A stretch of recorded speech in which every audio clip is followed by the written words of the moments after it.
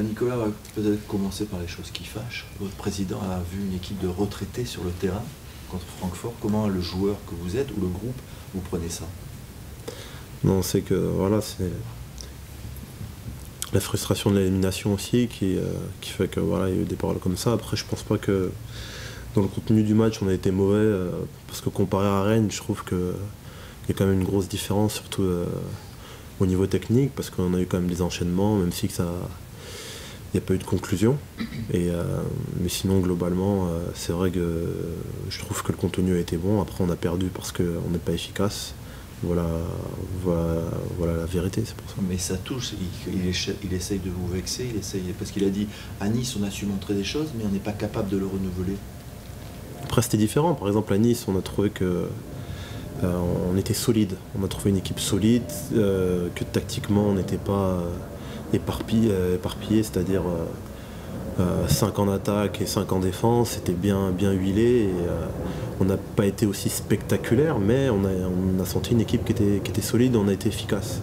Voilà la différence. Alors que je pense que jeudi, quand même, on a produit du jeu, on a essayé de, faire des enchaînements qu'on a réussi à faire, sauf qu'il n'y avait pas de conclusion. Et euh, maintenant qu'il n'y a pas ça, euh, ben, c'est vrai qu'on subira toujours des critiques. Après, euh, c'est très bien que si demain on, on gagne, on peut revenir déjà dans la première partie du, classement. Après, on sait que voilà, dans le foot, ça va très vite.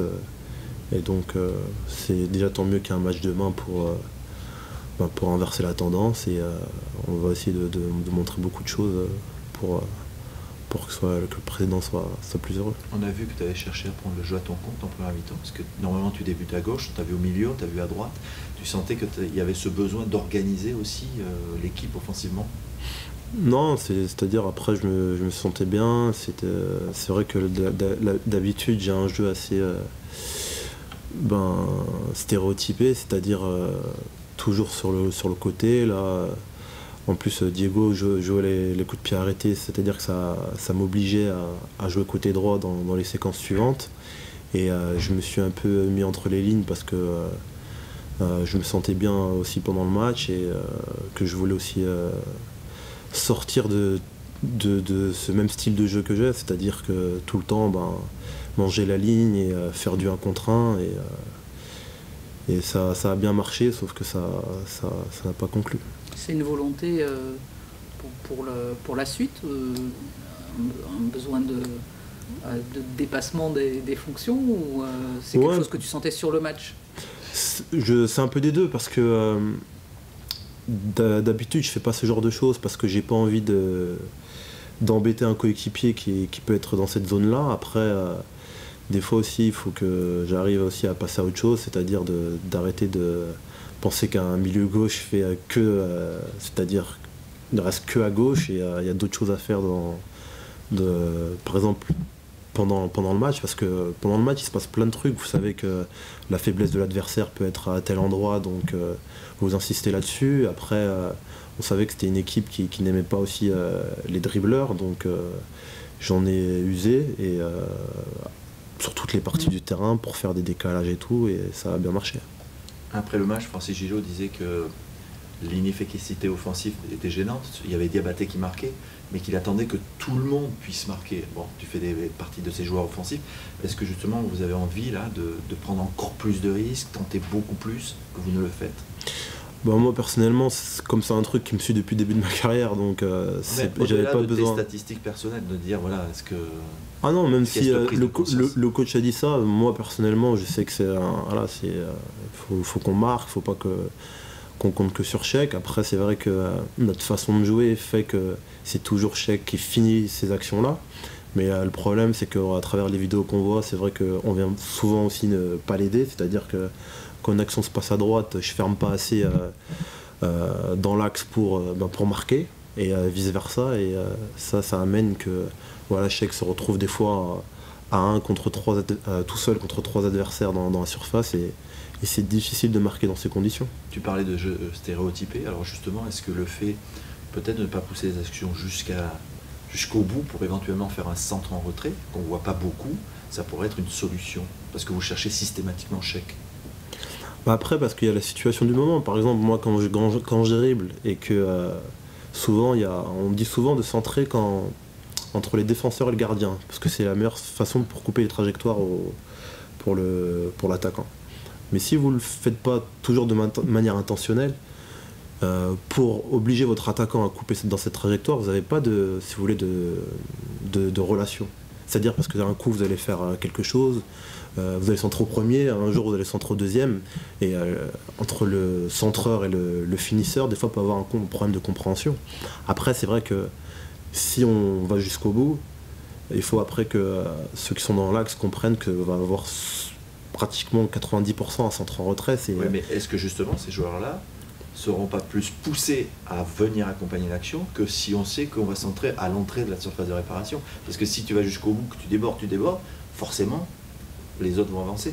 Ah. C'est une question. Hein. Non, je, comprends. Après, après il y a, d'autres aussi paramètres. C'est que euh, des fois, c'est une question de temps aussi, parce que souvent, quand tu sors d'un dribble ou euh, bah, le, défenseur te laisse pas autant de temps que tu, que tu, que tu le veuilles, et euh, donc tu fais en fonction de ça. Tu dis déjà, faut centrer avant de te faire contrer.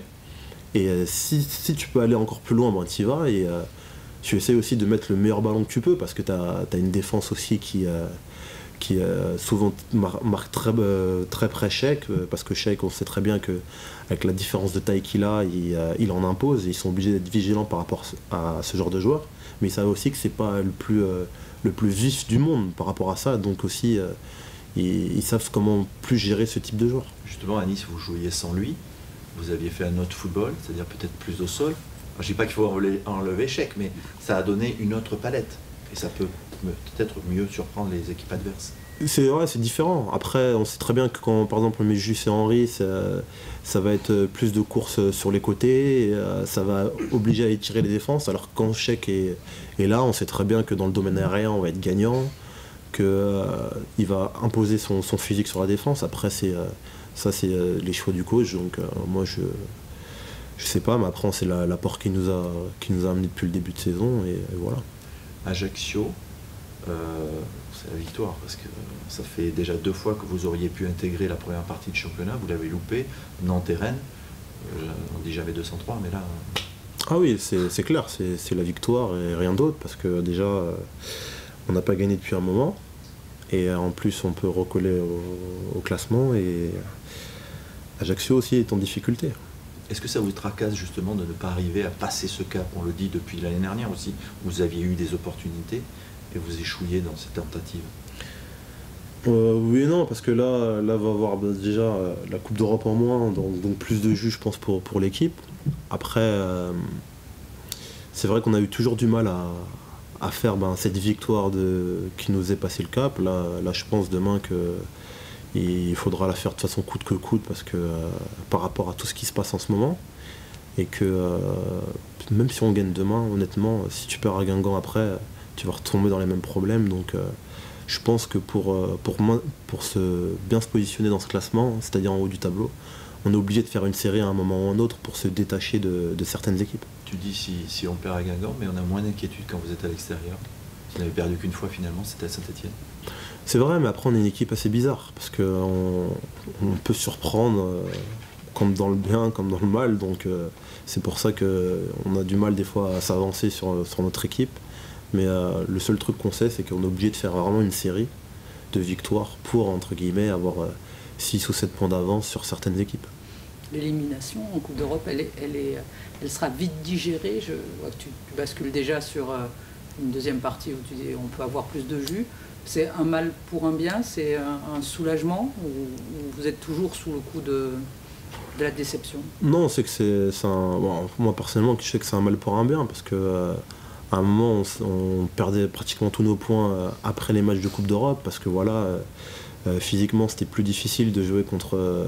déjà, on était fatigué et c'était plus difficile de jouer contre des équipes qui, qui avaient joué juste la semaine d'avant.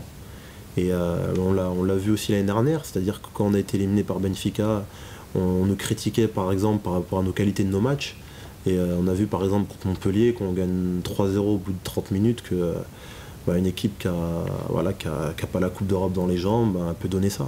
Après, c'est c'est vrai que c'est nous, c'est un peu difficile de, la quitter très tôt parce que on sait qu'à partir des 16e, 8e, bah, c'est là qu'on rencontre des équipes qui ont été éliminées de la Ligue des Champions et c'est vraiment des très bons matchs à jouer. justement, est-ce que ça ça peut pas avoir quelques conséquences sur, sur certains joueurs, sur, sur le groupe? De, partir si tôt quoi. Là, bon, la, saison, à la limite, sans dire qu'elle va être longue, on, la connaît. quoi. C'est championnat, coupe, le train-train, la Coupe d'Europe, c'était un petit... Un petit bonus. Mm. Ah, c'est vrai que c'est. Après, je sais pas, c'est vrai que quand même j'ai un groupe qui, ben, qui a connu les, bonnes années à Bordeaux. Après, je sais pas comment c'est dans leur tête. Mais bon, moi, je suis déjà content de, faire deux, années de, suite la Coupe d'Europe. Et euh, là, de, ben, de, passer par le championnat, ben, c'est pas.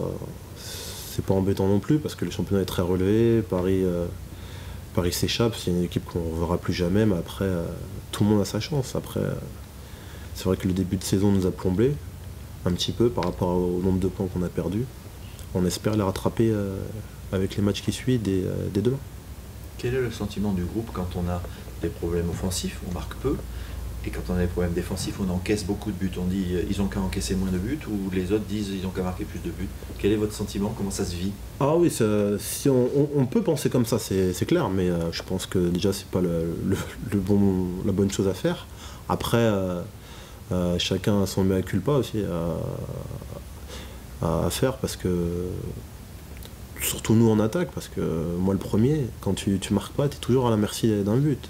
Après c'est difficile aux, défenseurs de enfin de critiquer les défenseurs par rapport à ça parce que comme le match du jeudi tu as eu des actions c'est un moment c'est euh, c'est pas que c'est fatigant mais quand tu te mets pas à l'abri et que tu le mérites d'une certaine manière tu te dis à un moment qu'est-ce qu'il faut faire pour marquer et tout. Et à un moment, tu as un manque de vigilance.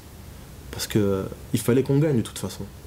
À un moment, tu as moins de rigueur parce que tu veux toujours aller vers, vers l'avant. Tu veux, tu veux tirer les coups de pied arrêter plus vite, tu veux faire tout plus vite. Et, euh, c'est comme ça qu'on s'est fait un peu avoir. Donc c'est plus les défenseurs qui peuvent être en colère contre les attaquants À cette heure-ci, oui. Quand même. Merci. Peut-être demain, ce sera papa. Comment tu te sens La béquille, là, le coach parlait d'une béquille. Ouais, ben. inquiet tu te juges euh, Bon, ça, ça allait ce matin. Après, euh, j'espère que ça va, ça va encore s'améliorer. Tu sens encore. Euh, ouais, je sens encore les douleurs. Après, c'est très bien que les sensations qu'on a là et mm. Qu'on aura demain seront différentes, mais parce que voilà, l'intensité d'un match de Ligue 1, c'est différent. Tu te sens partant? J'espère. Merci. Merci. Merci beaucoup.